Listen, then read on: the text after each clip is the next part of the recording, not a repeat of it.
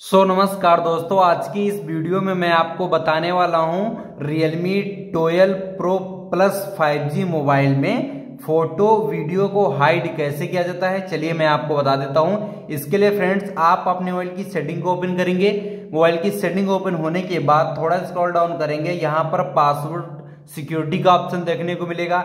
इस वाले ऑप्शन पर आपको इस प्रकार से क्लिक करना है। आप यहाँ पर प्राइवेसी पासवर्ड का एक ऑप्शन देखने को मिलेगा। इस पर क्लिक करेंगे।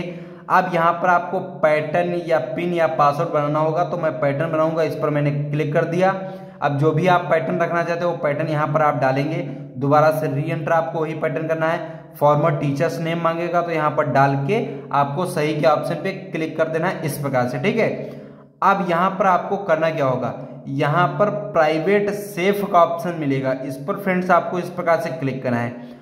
अब यहाँ पर अगर आप फ़ोटो वीडियो को हाइड करना चाहते हैं तो इमेजेस एंड वीडियोस का ऑप्शन जो मिल रहा है, इस पर फ्रेंड्स आपको इस प्रकार से क्लिक करना है। प्लस के ऑप्शन पे क्लिक करेंगे। जिस भी फ़ोटो या वीडियो को हाइड करना चाहते हैं, उस पर इस तरह से टिक लगाएँगे। तो मैं इस फ़ोटो को और इस वीडियो को हाइड करना चाहता हूँ, ठीक है? सेट एस प्राइवेट लिखा हुआ इस पर आपको क्लिक करना है।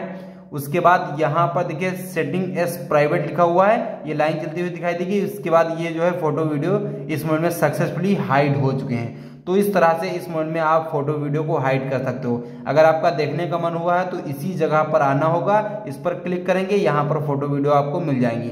तो इस तरह से आप इस मोड में फ़ोटो वीडियो को हाइड कर सकते हो।